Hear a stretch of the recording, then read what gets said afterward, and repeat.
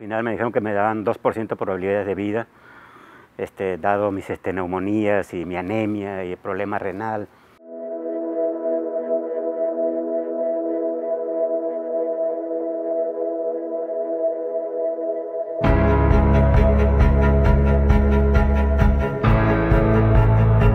Los dos primeros días que estuve una, como mucha gente que había, este, una área de observación Dos días después ya me pasan a piso. Yo pensé, dije, no, ya pasando a piso, eh, en tres, cinco días máximo saldré ya desde este cuadro, ¿no? Porque era una buena opción, pero casi ya llegando a piso me dicen, te vamos a intubar, así de buenas a primeras. Bueno, pues cooperé. Mm, yo pensé que esta era buena la decisión, pero en cuanto me intuban, pues prácticamente te anestesian y pierdes el conocimiento. A partir de esa fecha fueron 62 días hospitalarias.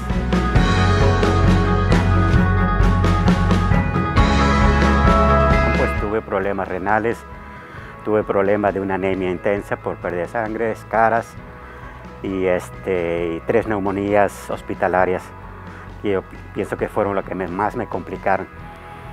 Este, cuando me dieron de alta, aún me dieron inconsciente de alta y con el respirador automático. Fueron, pues que yo creo, un promedio de 20 días más antes de empezar a recuperar la memoria y a reconocer la gente y que estaba en mi casa y de pronto pues ver enfermeras y médicos y, y este, gente asistiéndonos ahí para los servicios.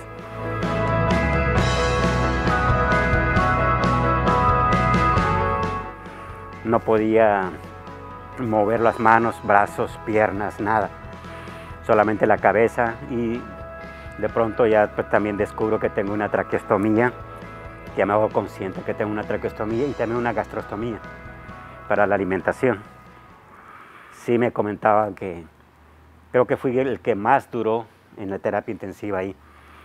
La mayoría llegaban tres, cinco días e inmediatamente o mejoraban o a la bolsa.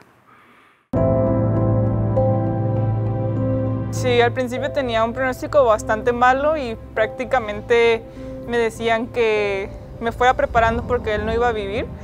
No podía y era casi imposible. Y poco a poco, cada semana se fue mejorando el pronóstico hasta donde recuerdo claramente un reporte donde me dijeron va mejorando bastante y se está preparando su prealta. Entonces, creo que yo decreté desde varias semanas antes que él iba a salir, entonces que me pronunciaran esas palabras justo los médicos fue muy gratificante porque se estaba, eh, estaba evolucionando el caso como yo le tenía así la fe.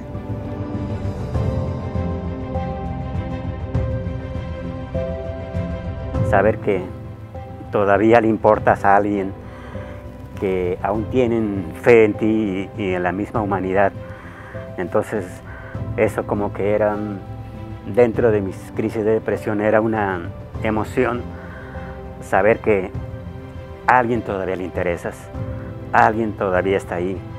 Y a pesar de que quizás este, no eres el más merecedor de todas las personas, porque siempre tenemos errores o tenemos cosas buenas, este, te sientes agradecido por cada palabra que te dan, por cada apoyo que te dan, eh, seguir luchando que podemos salir adelante eh, a pesar de lo que ya padecimos.